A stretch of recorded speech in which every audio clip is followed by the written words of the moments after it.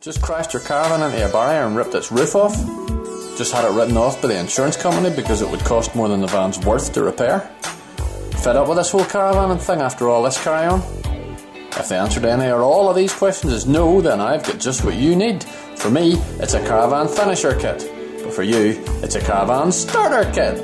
The kit includes the following items. One Quest porch awning and all accompanying bits and bobs two wee ramp things for getting your van all nice and horizontal. Two easy, like really easy to fit towing mirrors. A wheel lock. All the bits and bobs I mentioned before poles, skirt front of the van, pegs, wee duffers for attaching the poles, ropes in a bag you'll never get it back into, ever. One breathable ground sheet and a bag you will get that back into. A hitch lock. An electrical hookup lead a water carrier and waste water collector with connecting hoses along with a pump for the water so you can have lovely running water at the push I mean the turn of a tap. What more could you want? And what are you waiting for? If the answer to either or both of these questions is no, then you haven't really understood the questions, have you?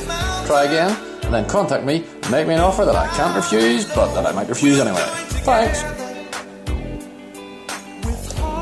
Please note Caravan Guard were extremely helpful during our insurance claim process and are thoroughly recommended.